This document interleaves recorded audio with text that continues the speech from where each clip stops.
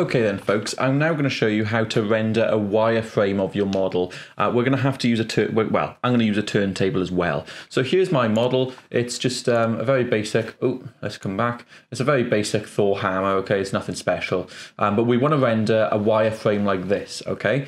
Um, so what I want to do is I'm going to get my model and I'm going to go to animation in here, visualize, create turntable, come to the option box, um, 125 frames because I want it to be five seconds. Clockwise rotation is fine. So I'm going to click apply and then click close. So what we've got now is it says turntable camera at the bottom. So for 125 frames, we've got that. And that'll do just a turntable, but of the beauty of it, you know, the, um, when I say beauty, just, just all the diffuse and specular.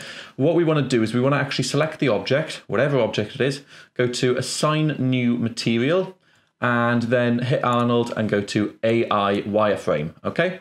Um, now let's do a quick render. So I'm to go render, render the turntable camera one, and there you go, we got our wireframe. However, it's currently doing tries, okay? So we want to change the edge type from triangles to polygons, and give it another render, and there you go. You can you can change the fill color to gray if you want a little bit of a Lambert.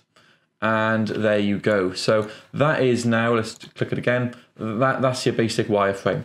Okay, you can change the width if you want to go to 1.2 and give it another render. Depends how, how close your actual um, your actual lines are. But look, that looks fine.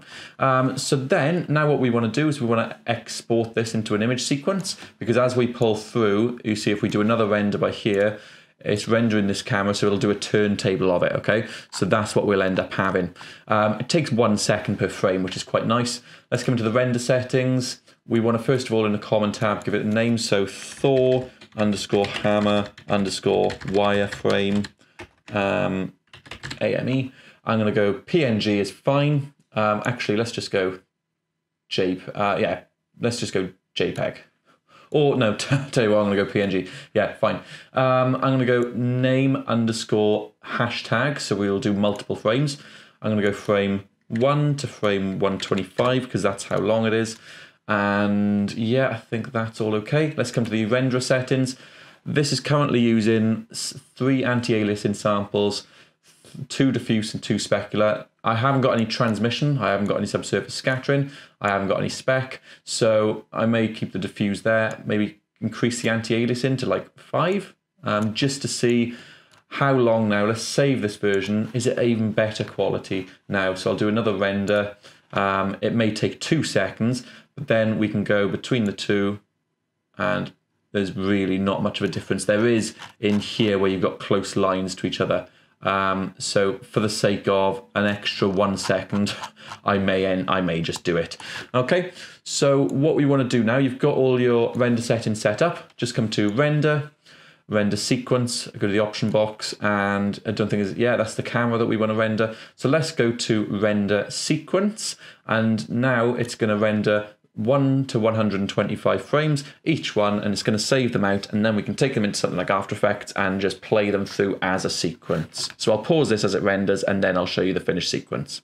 Okay, so my render's completed, it didn't take long at all. Um, now what I want to do is, I'm in After Effects, I just want to import them, import the files quickly, so double click and they're in this images folder here somewhere and they start from here. Okay, so click this one and I'm going to make sure PNG sequence is ticked and just click import. We got two and 125 images, but it's being interpreted as 30 frames per second, which I don't like. So right click, interpret footage, main, just change it to 25, click OK. Drag this image sequence now down to the new composition icon and boom, there is our um, rendered wireframe, okay? So that's how you render a wireframe from Maya in Arnold. You just now export this as a video from After Effects and that is your final wireframe turntable. So cheers for tuning in and I'll see you in a future video.